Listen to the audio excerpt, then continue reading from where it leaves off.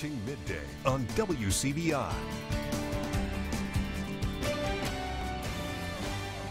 Welcome back to Midday. We're joined now by Louie P. Gallo from the Starkville Community Theatre. Good afternoon, Louie. Thank you for being here. Thank you for having me. He's here to tell us about an upcoming show called Blame It on Beckett. What can you tell us about it? Yeah, so Blame It on Beckett. It's a it's a, a show about the inner workings of a regional theater in New England. Okay. Uh, yeah, the story follows a wide-eyed dramaturge uh, played by the delightfully talented Emma Brooks, and kind of her attempt to navigate through the cutthroat world of professional theater.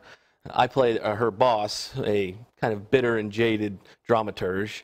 Uh, the hilarious uh, Michelle Crescenzo plays the theater's resident playwright, and the ruthless general manager is played by uh, the wonderful Taylor Comer. Uh, the show itself is directed by Joe Durst.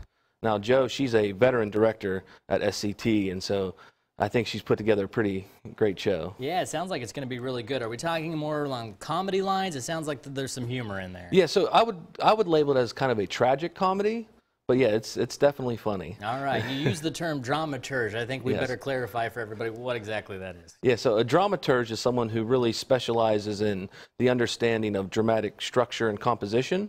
Okay. So they're the person who works with uh, the script and the playwright to kind of find the best way to to represent the main elements of drama on stage. Interesting. And so this sounds like it's kind of like a play within a play. As an actor, was is that was that one of the challenges? Yes, it's very meta, Okay. very meta. so it's a show about theater, about theater. So it's it's interesting for sure. very cool. How long have you guys been working on this? Yeah, so we've been in rehearsals probably probably for about six weeks, I think, altogether. Okay. And so it's it's a pretty big production, you know, and so a lot goes into it. So we're excited. Can people that are interested in coming to the show can they start getting their tickets? How do they go about doing that? Yeah, certainly. So the show we have nine performances altogether starting tonight. So from February 20th to the 22nd, we do a show each night at 7:30. Doors open at 7. Um, and then on Sunday we have a 2 p.m. matinee. Um, each ticket is uh, $15, uh, $10 for students, and you, we encourage people to make reservations. Uh, you can do that by calling the box office.